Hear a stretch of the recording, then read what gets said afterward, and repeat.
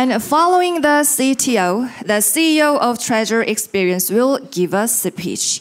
Marc is responsible for each of the company's marine related projects, overseeing all development activities from planning and financing to negotiating contracts. Let's bring Marc Gerein on the stage. Please give him a big hand. So, as I said, I'm Marc Gerein. Um, I'm not a teenager anymore. I still feel like one because I get to do the same things that I've wanted to do, my whole life. So I'm looking around the room. Does anyone ever dreamt of finding treasure? Raise your hands. Don't be shy. All of you have. Maybe it's not sunken treasure. It could be a relationship, it could be a promotion, it could be an experience. But we take the directorate. We actually spent the last 45 years of our lives, my brother and I, looking for shipwrecks. It's been a rich experience. It's allowed us to travel all over the world. We've worked on Chinese ships in the South China Sea, Spanish galleons in the Caribbean. We've been to North Amer- uh, the Arctic in search of gold and in South America. And in this time, we've we started out as as crew members, and soon we branched out on our own, and we needed to raise capital. So what I'll do today is address the concerns of potential issuers as well as investors and how it relates to the, how it relates to the STO. So anyone that's ever been in business with a startup or is entertaining it, you already know what this picture is. Those little turtles, about one in a thousand, actually make it to maturity. And it's around the same odds with startups. So, an entrepreneur is a founder, an early stage company. You find yourself underfunded, overworked, and very often you have to branch out and learn things you never thought you needed to know. When I started in this business, I never thought I'd have to write a PPM. And I wouldn't have had to if I hired attorneys, but it would cost many, many thousands of dollars, so I learned how to do it myself. And in our experience, we used the traditional method up until a little less than a year ago. And what that involved was every project started out with our savings. When we ran out of our own money, we borrowed from friends and families, or we got them to family members, or we got them to invest with us. All of this involves financial risk, and your credibility is always on the line. So you have to deliver. Once you re reach a certain level, as we did, you find seeking out private equity and angel investors is an appropriate place to go. In the US, we're very well regulated, so you have to produce all the documents and they have to be approved in a form with the, with the um, SEC. and each time you do this, you sell a little piece of your soul until you pay your investors back. And we've done this. We've gone all the way down in and back out many, many times, both in looking for shipwrecks and in developing technologies.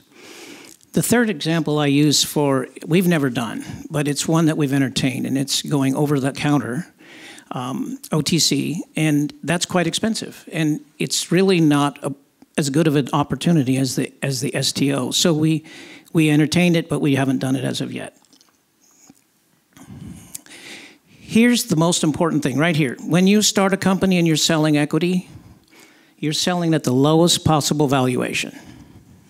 So you're selling off most of what you have for almost nothing. And that determines the next step. Everything you do after that first round is affected by the first round. The direction, unless you can back out and redirect. So consequently, you could sell 50% of your company on the first, first financing. What happens next? You sell one more percent, you lose control. And then if you lose control, all the people you made promises to in the beginning, you no longer can keep your promises.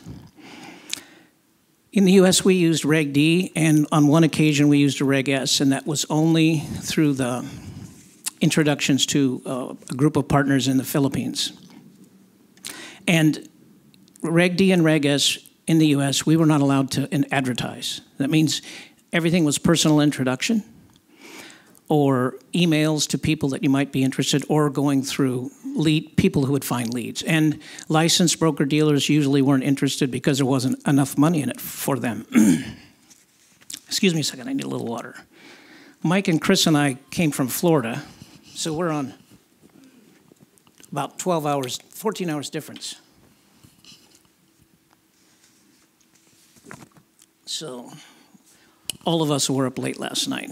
In fact, most of the night, from about 1 to 4.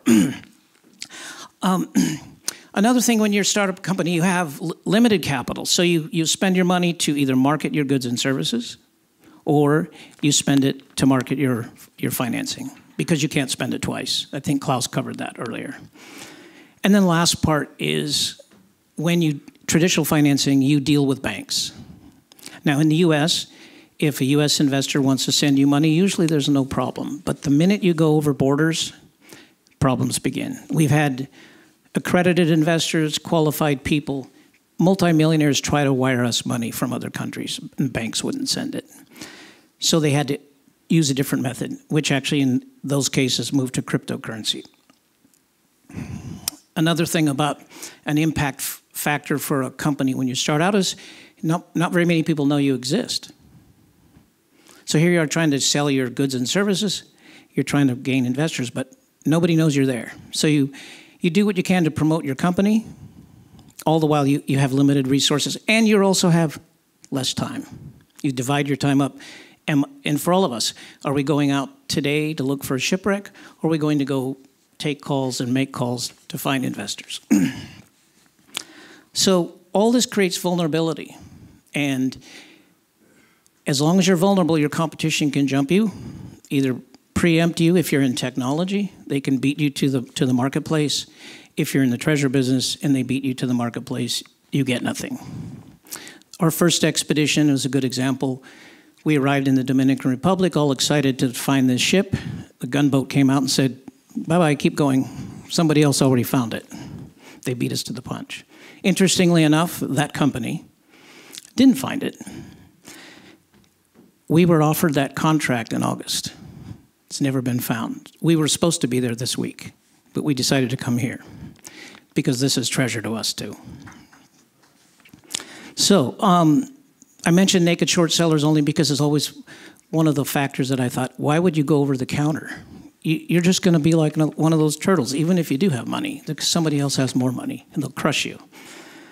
Um, the other thing about the traditional investment, and this is one that we know well, our first projects, somebody would say, here's $50,000. And we would split it. Whatever we found, they got half, we got half. If the numbers got more than 100, we'd pay them their money, and then we'd split the goods.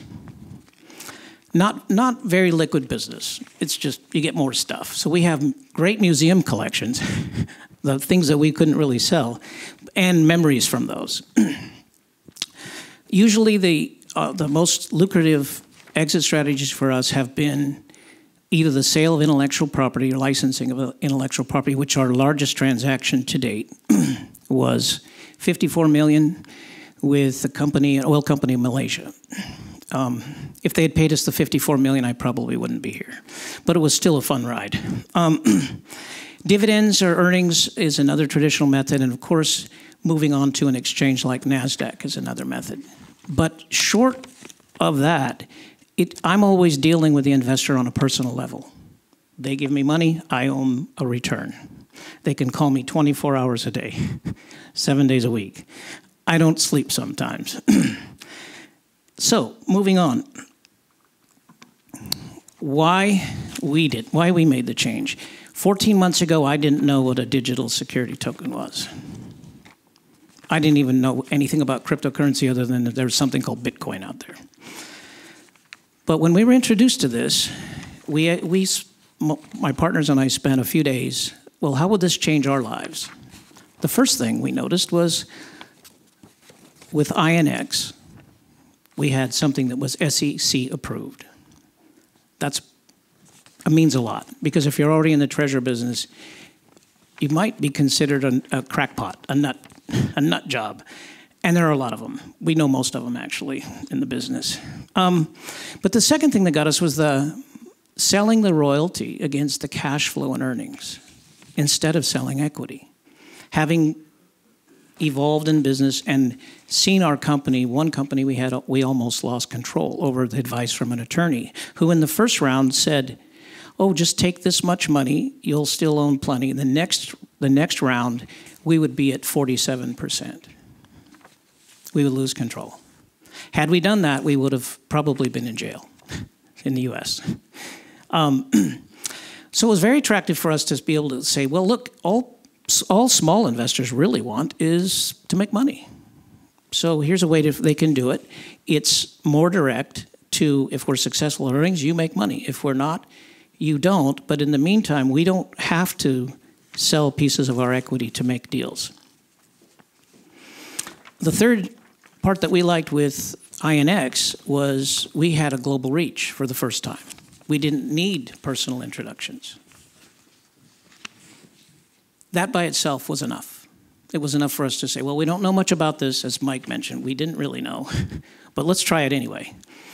Not knowing never stopped us in the past. Um, it's my brother and I invented a submersible robot. We patented it. We, uh, we acquired 10 US and foreign patents. We didn't know how to do that. We did it anyway. So we figured, well, if we could do that, we could do this we wrote a book. Same thing. We never wrote a book before, but um, by the way, I'll, I'll, show you the book at the end. If anybody wants a copy, you just you just connect with us, and we'll send you a, digi a digital copy. the other part that was attractive was we had limited marketing money, and when you're a startup and you talk to marketing people, the first thing they say is, "What's your budget?" Well, how about zero? I don't really have any money for budget, but I'm going to try anyway. So, what if you could spend your money to drive people to buy your tokens and your goods and services. Now you're spending the same money twice in a legal manner. the last part, and I mentioned the difficulty sometimes with banks, was if you're already on this exchange, people can purchase through Ethereum or digital, the digital currencies, or they can wire money directly to us. And that was wonderful. I was like, okay, now anybody I know anywhere in the world, if they're in a country that's approved, could do this. But the best part is only token sellers are able to sell the tokens. And I, in the business I've been in, I have seen contracts signed that weren't my signatures, that people owned a percentage of something that I never met. But in this, they can't do it. Um, and it's, by the way, it's fairly common in our business. As uh, I w- I shouldn't name names, but they're in news in, in Australia and and uh, um, the US and parts of the Caribbean and Europe. The other thing that we liked uh, with um, INX specifically was that the platform was open all the time. So as I mentioned before, my investors could call me 24-7. Now my investors can reach out and do business with the platform. And um, they don't have to call me. All the while, you have a, when you have a, a, some, a partner like INX, you can build your valuation and they help you do it. Again, if we had three investors, it's not a lot of work. But if we had 500 investors, we don't have the equipment and the, and the person power to do this. We need help. And I looked at the cost of them managing distributions and I realized I couldn't hire somebody to do that. So they help you with the growth of your company and the disbursement of, of dividends and return, and They'll also assist you when people want to cash out. So if you haven't read the INX Way uh, and you're interested in this business, I recommend it. I learned a word that I never knew, the insumer, which somebody, somebody in INX coined. It's the investor consumer. This is the biggest part of our business. Our business is, is is built on memberships, as Mike mentioned, and a following and brand awareness. So we, we can move into this sector all the while pursuing our goals and objectives with our investors who become consumers or consumers who later can invest. Right now we're in the first round, so if you're in the US you have to be accredited. And if you're and if you're a Reg S or outside the US, you don't have to be accredited. However, there's still a holding period. But at some point, we see a segue into more of our goods and services available for token holders and advantages to token holders for those goods and services. I'm going to read this. I think it's important. You don't know who your investors are, and you don't know who your consumers are. I sell a book on, on uh, Amazon. I never know who bought that book. It doesn't, other than the $8 or whatever we get per book, it doesn't do me any good. but if I know who buys my book, I can also go back and ask them if they want anything else from me. It's the same thing with the consumer. They, this is a person who invests and becomes a consumer in your company, and they have a share in your profits. They benefit by by supporting you. So they they handle the your, your growth, and they handle your awareness and your ability to become. In our case, we want to become a recognized world brand. So I, I borrowed this from Bob last week the gold rush for small businesses and investors. I think the gold rush is a good explanation, but this space right now, this token space, is an adventure. Some of you will find your treasure doing this, and some of you will find an adventure in this as well. Uh, I, for us, that's why we're here.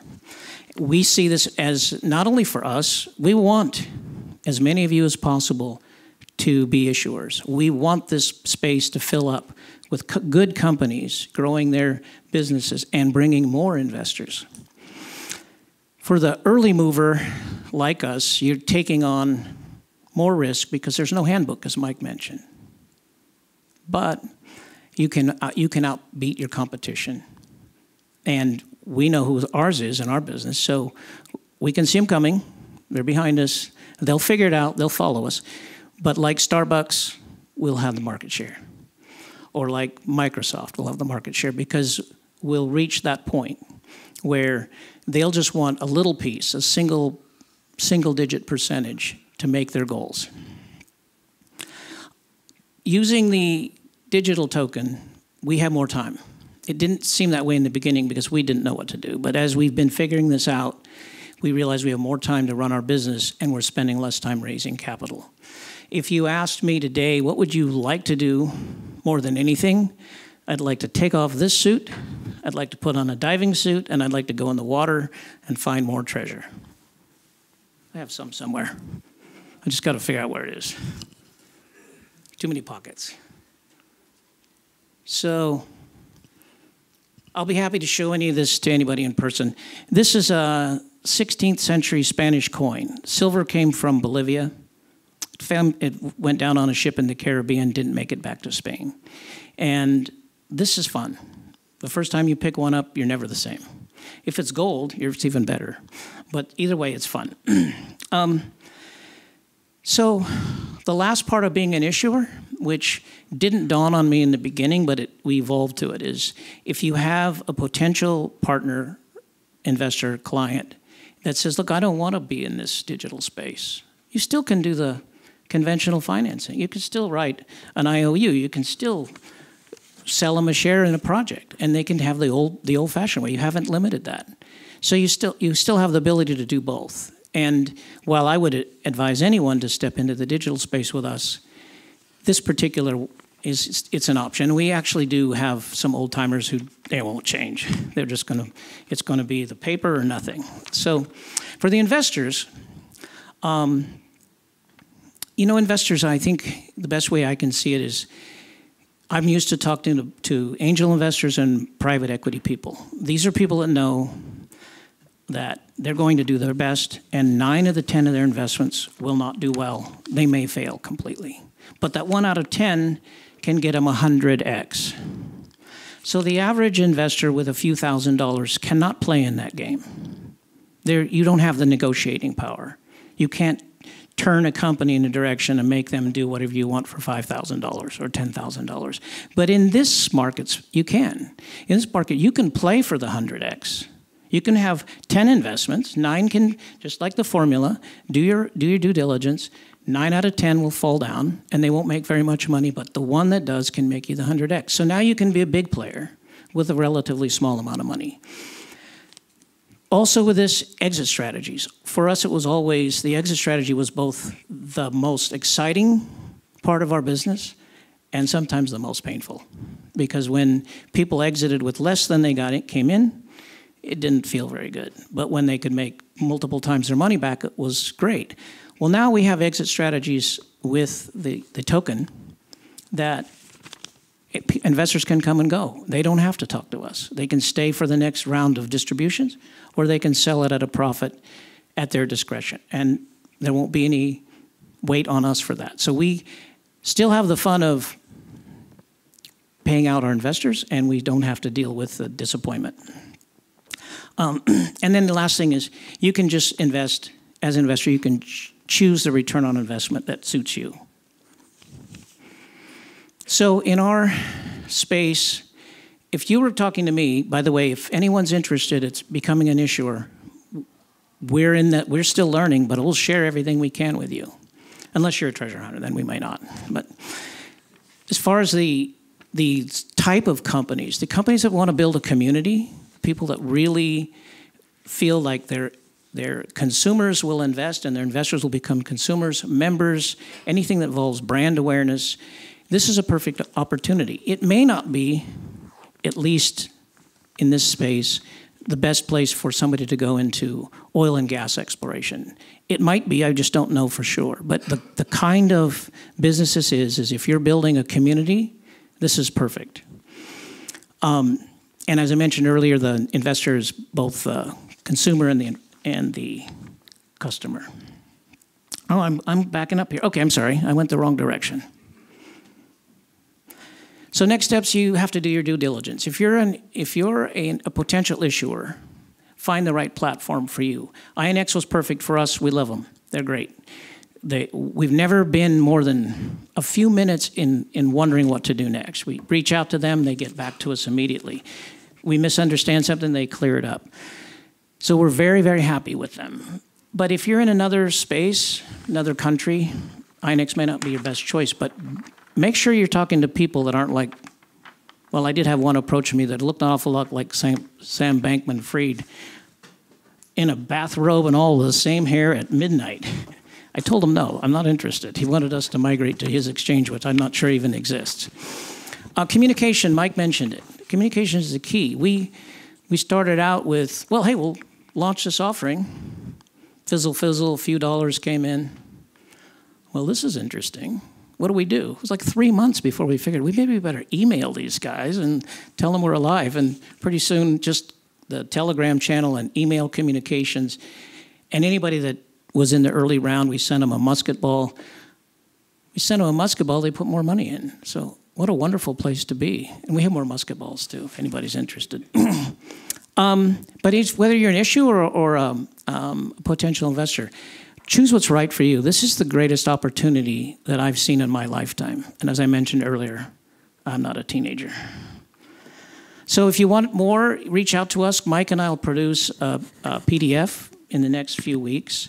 We'll put a space on the website that mentions the Security Token Summit and our activities, inviting any of you at all have any questions. If we can help you, we'd love to help you. And in that, I'll say thank you very much. Thank you for sharing your heartbeats and breaths with me and your country. I appreciate it very much.